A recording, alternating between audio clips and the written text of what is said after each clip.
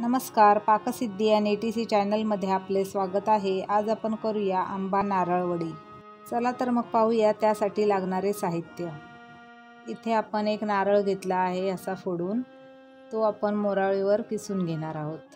त्याचप्रमाणे हे दोन आपूस आंबे घेतले आहेत पिकलेले. हे आहेत चार पाच बदाम मी बारीक चिरून घेतले आहेत. इथे मी दोन वाट्या साखर घेतली आहे. त्यातली एक वाटी साखर मी पिठी साखर करून घेणार आहे. त्याचबरोबर इथे आपल्याला अर्धा चमचा वेलची जायफळ पावडर घ्यायची आहे. प्रथम आपण आंबे सोलून त्यातील गर काढून या मिक्सरच्या भांड्यामध्ये काढून घेत आहोत. आता आपण त्याची बारीक पेस्ट करून घेणार आहोत. मध्यम गॅसवर कढई ठेवून त्यामध्ये आता आपण एक चमचा तूप टाकून घेऊया.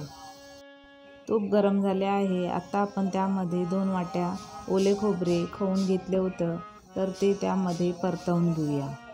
आपण इथे वाटीचे प्रमाण वापरणार आहोत. त्यामध्ये आपण दोन वाट्या खवलेले खोबरे घेतले आहे. त्याचबरोबर एक वाटी आपल्याला साखर घ्यायची आहे आणि एक वाटी आपल्याला आमरस घ्यायचा आहे.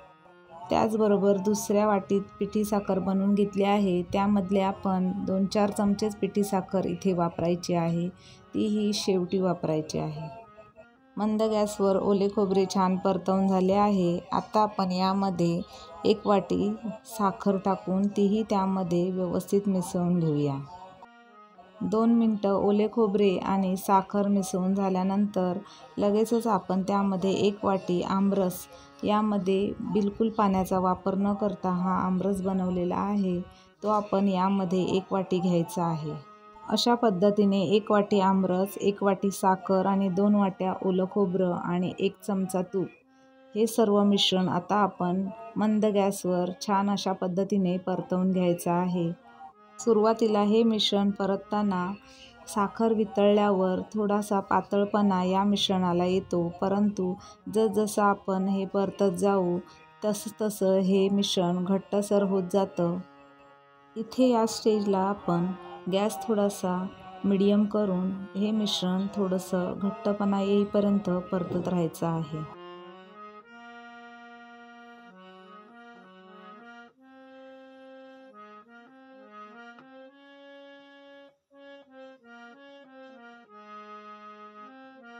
इथे तुम्ही पाहू शकता आपल्या मिश्रणाला कसा घट्टपणा आला आहे.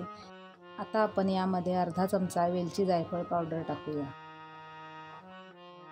ही वेलची जायफळ पावडर बनवण्याची रेसिपी मी अपलोड केलेली आहे. तुम्हाला लागल्यास डिस्क्रिप्शन बॉक्समध्ये त्याची लिंक दिली आहे. पाहू शकता. इथे तुम्ही पाहू शकता कढईला न चिटकता या मिश्रणाचा छान गोळा तयार होत आहे. म्हणजे आपले मिश्रण परफेक्ट तयार झाले आहे. आता आपण यामध्ये दोन चमचे म्हणजेच गरजेप्रमाणे पिठी साखर टाकायची आहे. त्यामुळे वडीला छान बाइंडिंग मिळते आणि आपल्या वड्या छान तयार होतात.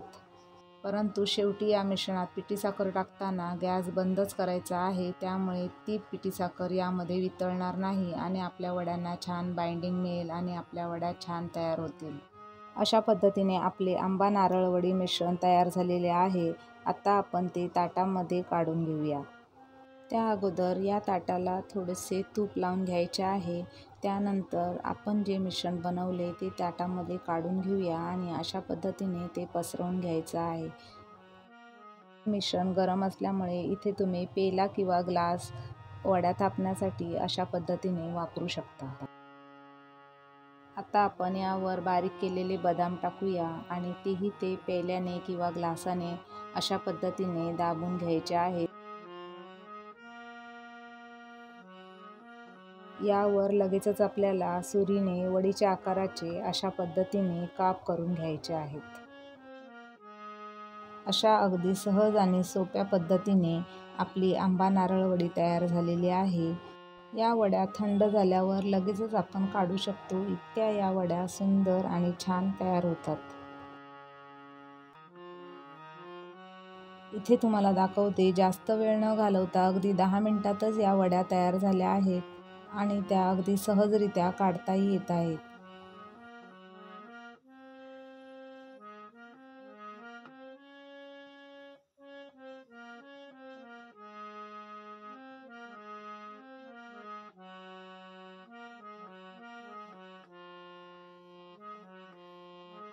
अशा पद्धतीने आपली आंबा नारळवडी तयार झालेली आहे. ही चवीला खूप छान लागते आणि आता आंब्याचा सीझन असल्यामुळे तुम्ही ह्या वड्या नक्की करून पहा आणि माझ्या व्हिडिओला लाईक शेअर अँड सबस्क्राईब करा. थँक्यू धन्यवाद.